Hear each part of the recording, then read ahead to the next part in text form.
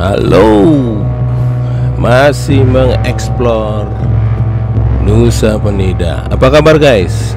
How are you today?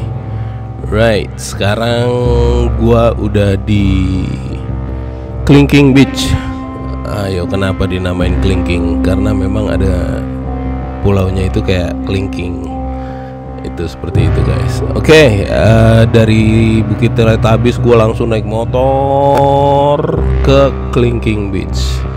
Seperti itu sih guys. Jadi perjalanannya melewati hutan yang belum pernah gue jalani sebelumnya. Jadi gue sampai sini itu sekitar jam 4 lewat 18 jadi pada tanggal 13 Maret 2022 gitu loh. Alright, buat lo yang belum nonton Teletubbies Bukit, silahkan cari. Itu. Jadi ini kita lihat di atasnya itu ada ya rumah penduduk atau memang dia jualan makanan gitu kelapa jadi itu saya nggak turun ke bawah guys nyesel juga sih. Jadi kalau memang teman-teman semua pada mau ke mana? Ke Nusa Penida paling nggak dua malam lah gitu loh. Satu malam di satu tempat. Eh satu maksudnya satu hari itu ya kalau bisa merasakan turun ke bawah juga nih kayak Clinking Beach. Soalnya tangganya terjal juga Diamond Beach tangganya terga terjal juga gitu loh. Jadi kemarin itu memang saya ah udah ngedrone aja cukup deh. Mungkin lain waktu saya nginep uh, dua malam atau tiga malam di Nusa Menida biar lebih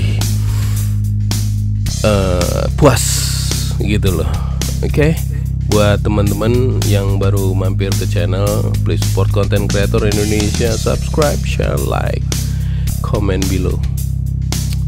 Oke, okay, the next day gua ke Diamond Beach and mana uh, Broken Beach Angel Bilabong jadi ceritanya gue keenakan di sini guys. Jadi gue ke ada satu tempat nggak jauh dari sini. Itu jadi bisa ngeliat Clinking Beach dari jauh dan sunset guys. Indah banget. Jadi begitu sunset gue lupa guys. Bener-bener asli gue lupa. Gue harus ke pelabuhan lagi nyari apa nyari penginapan gitu loh. Jadi begitu keluar dari daerah ini itu udah maghrib udah gelap guys. Waduh gelap banget. Jadi dari sini ke pelabuhan itu sekitar satu jam atau satu setengah gitu ya saya naik motor. Uh, melewati hutan yang memang tidak ada kanan kirinya lampu.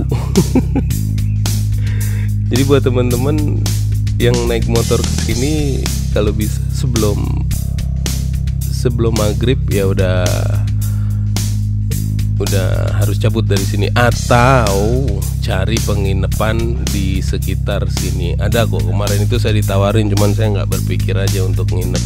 Saya pikir di daerah tempat kedatangan kemarin di pelabuhan ada penginapan murah ternyata semua sama lah ya. Gitu guys okay uh, enjoy my video and I love you